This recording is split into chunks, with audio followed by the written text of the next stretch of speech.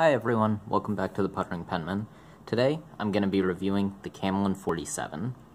I'll go over the packaging, pen design, size comparison, writing sample, and the cost and value of the pen. So, for the packaging, this pen uh, I ordered from Fountain Pen Revolution, which um, is selling a lot of less uh, expensive fountain pens. Um, in particular, a lot of Indian-made fountain pens. Um, this pen, the Camlin 47, is an Indian-made fountain pen uh, and an inexpensive one at that. And the packaging for this pen, it, it came in a padded envelope uh, wrapped in um, some like soft packing material, and that's how it came. So there's no original box with this, um, and that was the packaging. Um, the pen design itself, um, this is a very narrow and slim pen.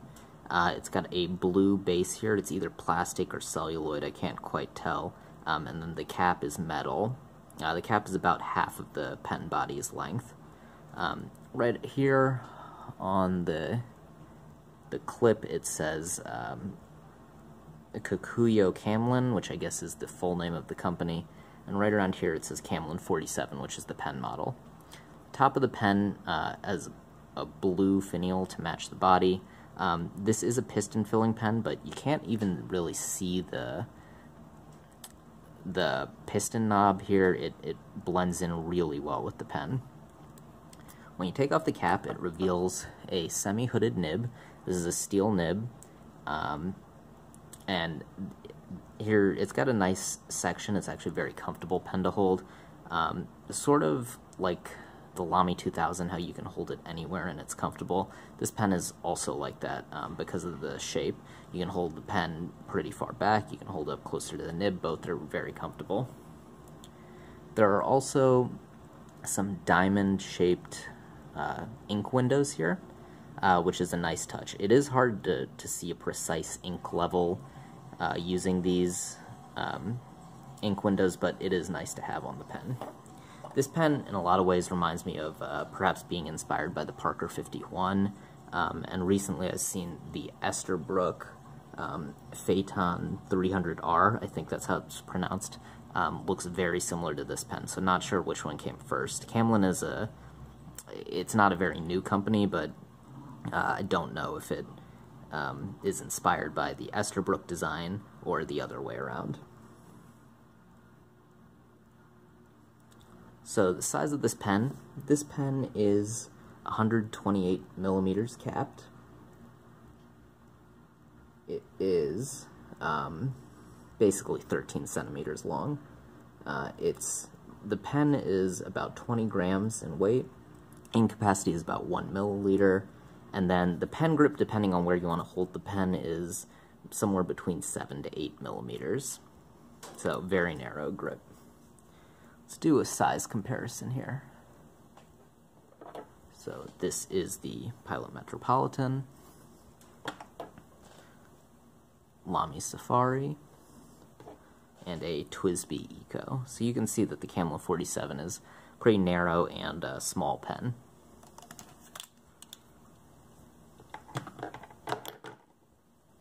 Okay, and now a writing sample.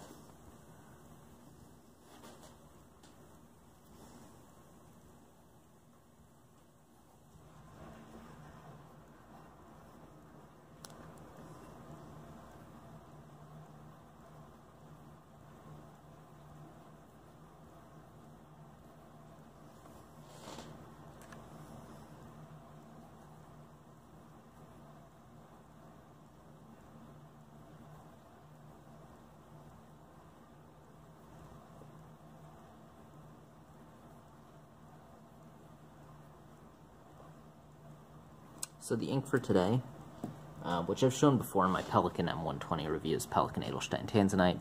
It's a very dark blue-black ink. Um, I really like it a lot. And the paper, as always, is a Rhodia A4 pad.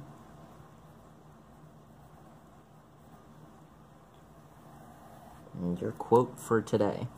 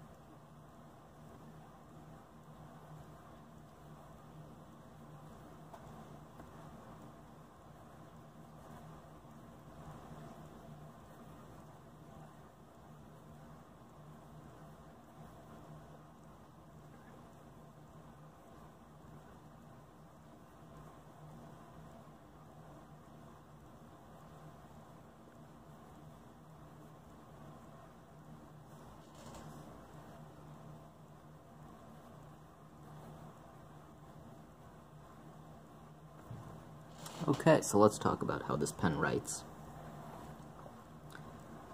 So this pen doesn't have any stub-like qualities to the nib. Um, in terms of line variation, not really much at all, which isn't expected because it is semi-hooded nib, so there's not a lot of room for this nib to move around. Reverse writing, it works, it's scratchy, and wetness. This is a pretty wet pen. So let's talk about um, a little bit about how it writes. You may have noticed that when I was starting out writing here, uh, the nib was very dry. So when I was cleaning this pen out, I actually noticed that the cap is not airtight. Um, right up here where the clip attaches to the cap, um, water can actually leak out. And if water can leak out, that means air can get in and dry out the nib. So when this pen is just sitting um, the nib does dry out, and that's an issue because if it, I've left out overnight and then I've got to, it takes a little while to uh, get the pen to write again, sometimes even like holding it against a wet paper towel or, or running it under some water. Um, and that's the biggest problem with this pen. The nib is very smooth.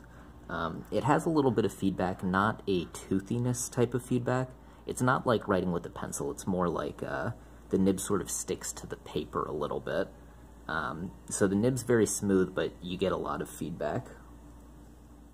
The, the pen grip is a little narrow, which some people may enjoy. I find it um, a little too narrow to be a comfortable pen to use for a long writing session. It is a nice, uh, quick note-taking pen.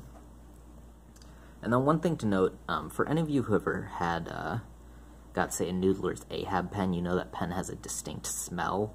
Um, and, and this pen also has that smell. Not quite as strong, but if that smell of the Noodler's Ahab bothers you, this pen is probably not for you either. Um, uh, the cost of this pen in India, uh, which is where the pen is from, is roughly around $1, um, converted back to US dollars, of course. And if you're buying it here in the US, like I bought it from Fountain Pen Network, it sells for like 14 or $15. So not a very um, expensive pen. I'd put in like sort of that beginner price range. Um, overall, is this pen worth it? Um, it could be. For me, probably not, just because it dries out. Uh, I don't think it's going to become a regular rotation pen for me. Uh, I really like the nib, and I wish there was some way I could fix it.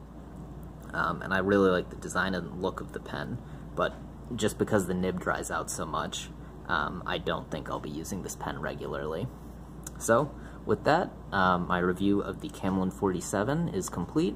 If you like this video, please give this video a thumbs up and subscribe to my channel, and I will see you next time. Bye!